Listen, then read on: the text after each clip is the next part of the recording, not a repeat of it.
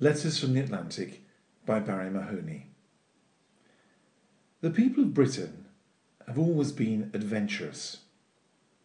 Despite being an island race, many of our forefathers felt the urge to leave its shores and to explore the world beyond. Our national history is full of exciting accounts of explorers and adventurers. The days of empire made travel to far off lands even easier, and the Victorians in particular took full advantage of the increasing ease of travel throughout Britain, Europe, and beyond. In modern times, with the arrival of the aeroplane and fast ferries, affordable overseas travel became more accessible to many more people. In recent years, the UK's entry into the European Union has made it much easier for those with the spirit of adventure inside them to live and work overseas. In the last 20 years, the rapid increase in UK house prices has left many owner occupiers in the fortunate position of having sufficient equity in their property to make their wish to travel a real possibility.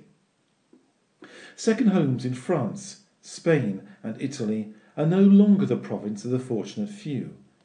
And for many others, the opportunity to leave the UK and make a permanent move to another country within the European Union have become too tempting to ignore. Letters from the Atlantic is the account of the adventures that my partner David and myself have experienced since our move to Spain and the Canary Islands. We were both primary school head teachers for many years, with myself becoming a school inspector and education consultant, working in schools throughout England and Wales. We felt that we'd done our bit for Queen and country, and that now it was time for something completely different. I thoroughly enjoyed my time in the education service, but I've always believed that the recognition of one's own sell by date is important for personal sanity as well as for future happiness. Like so many who, who have gone before us, often tempted by the warmer climate and lower cost of living, we decided to sell up and move to a country that we both already loved. Spain's Costa Blanca was to become our new home, together with our lovable yet self willed corgi Barney, and later to be joined by a fruit bat called Bella. Letters begins with my experiences of leaving the education service and starting a part time job as a newspaper delivery boy in the Costa Blanca. A period as a newspaper reporter and photographer led to being sent to the Canary Islands to launch and edit a new English language newspaper in the small Atlantic island of Gran Canaria.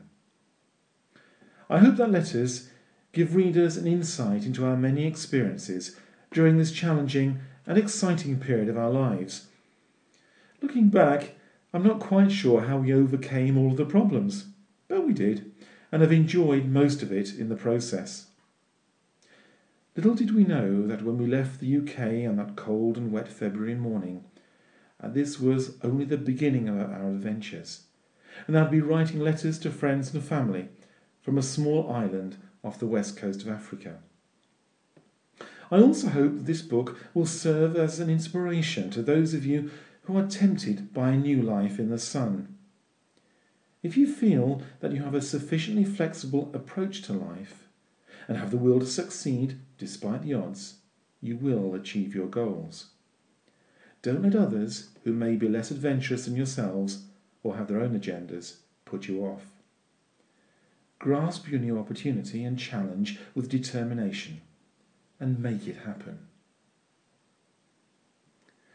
You can find Letters from the Atlantic in all good bookshops or online, or have a look at my website www.barriemahoney.com. Thank you for listening.